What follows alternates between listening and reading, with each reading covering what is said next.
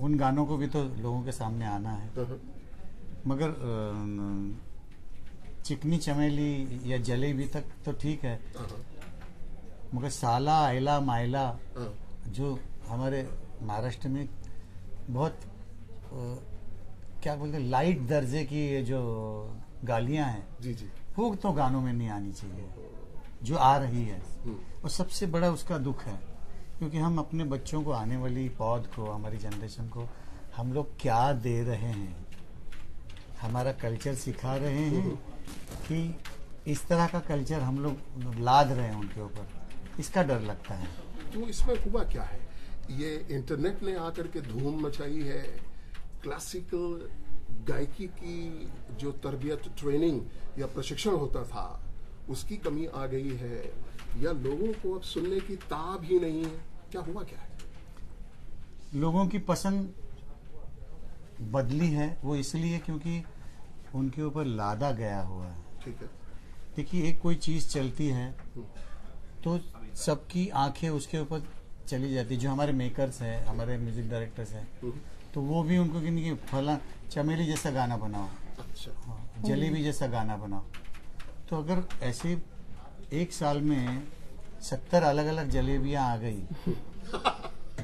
तो रसगुल्ले हैं या गुलाब जामुन है उनके तरफ़ ध्यान रहेगा ही क्या होगा? क्या होगा उनका? तो मेरा बड़ा सौभाग्य है बड़ी खुश नसीबी है कि पद्मा जी आप भी यहाँ पर सुरेश जी के साथ साथ हैं आप भी खुद गुलकारा हैं आप खुद भी सिंगर हैं। जिस वक्त सुरेश रियाज कर रहे होते हैं पद्मा पे क्या बीत रही होती है? जब पद्मा रियाज कर रही होती है तो सुरेश पे क्या बीतती अच्छा ये इंटरेस्टिंग सवाल हो गया। पहले आप बताएँगे। ये। ये हार्डली मुझे सुनते होंगे रियाज करते हुए। मैं तो ज़्यादा सिखाने में लगी रहती हूँ। अच्छा। बट इनको सुन के इट्स ऑलवेज अ हाई मतलब इनकी जो डेडिकेशन है म्यूज़िक के प्रति में सुबह जगते हैं जैसे वो बोलते सपने में मेरे ख्याल से गाते ही रहते हैं तानपुरे दिखते रहते हैं उनको।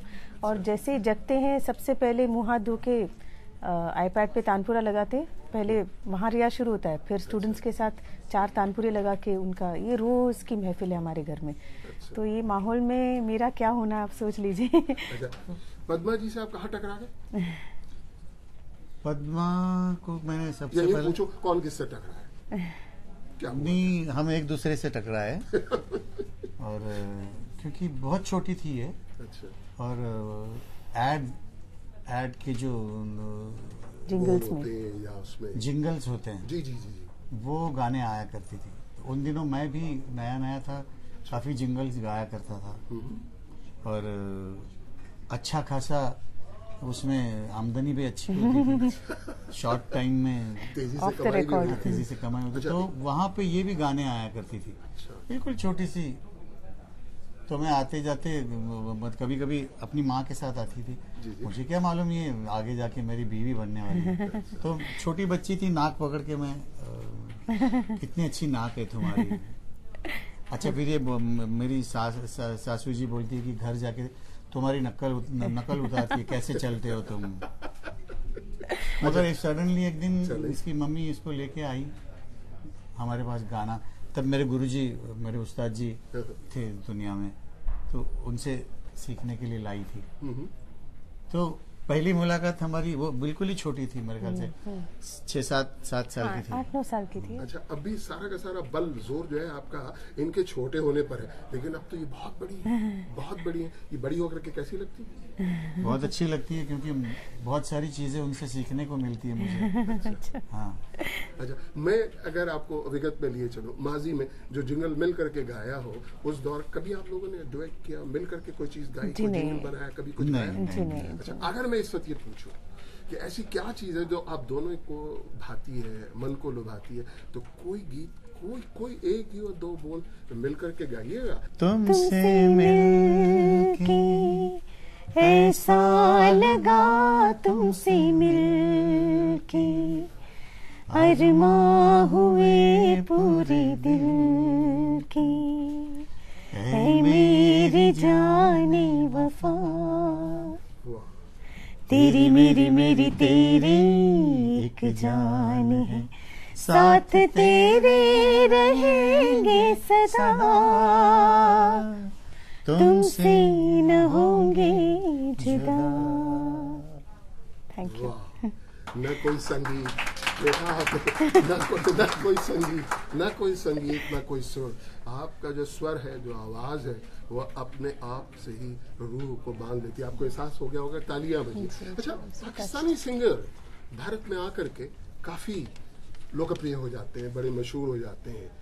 ये क्या कोई खास बात है? या वाकई वहाँ पर भारत में ऐसे उसके कदरदान बैठे हुए समझने वाले बैठे हुए कि इन पाकिस्तानी सिंगर्स को बड़ी जगह दी जाती है? भारत में हर आर्टिस्ट को गले से लगाया जाता है। सबसे पहले तो ये बात है। और गायक जो है वहाँ के जैसे अभी खान साहब को भी आपने सुना। मेहंदी हसन खान साहब। मैं तो चौबीसों घंटे सुन सकता हूँ। हम्म, और मैं सुनता भी आ रहा हूँ उनको। सलामत अली खान साहब। मेरे सिराने टेप रिकॉर्डर लगा ही रहता था। और चूँकि मैं पटियाला घराने का शागिर्द हूँ तो वो गायकी तो वैसे ही हमारे घराने में तो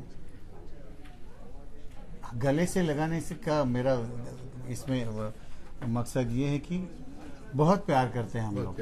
और आवाज़ें इतनी खूबसूरत इतनी पक्की तो और जैसे अभी राहत जी हमारे यहाँ बहुत हम्म, गाते हैं आपके आतिफ असलम भी बहुत गाते हैं। वो भी आते इनके फतेह अली खान साहब के जो पोते हैं शफकत शफकत जी वो भी बहुत गाते हैं।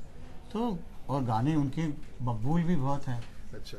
तो वैसे अगर वो लोग भी हम इस तरफ़ आके अगर हम बच्चों को बोल सकते हैं हम लोग हम तो सही। वो भी हमको रिकॉर्ड करेंगे तो ऐसा ही लगेगा कि वो भी हमको गले से लगाते हैं। अच्छा, अगर मैं आपसे ये पूछूँ कि पाकिस्तानी सिंगर्स के लिए क्या संदेश है? पाकिस्तानी सिंगर्स के लिए क्या पैगाम है? जिस तरह के लोग आपको बहुत जानते हैं बहुत सुनते रहते हैं हाँ? क्या कहिएगा उनके लिए? बहुत अच्छा काम करते हैं सब। और नई नई जनरेशन भी जो हमारे बात की भी जो आई है बहुत ही जहीन तैयार और मेहनती हैं और बहुत अच्छा उनका भी बहुत अच्छा फ्यूचर है। इसी तरह वो मेहनत करते रहें। सुरेश जी पदमा जी काश मेरे पास समय होता टाइम होता। आज मैं आपको लड़ियों की तरह पिरोए रखता और आपके साथ शाम बिताता। आपने समय वक्त निकाला हमारे लिए। बहुत बहुत धन्यवाद. बहुत बहुत थैंक शुक्रिया यू बड़ी मेहरबानी थैंक यू वेरी मच नमस्ते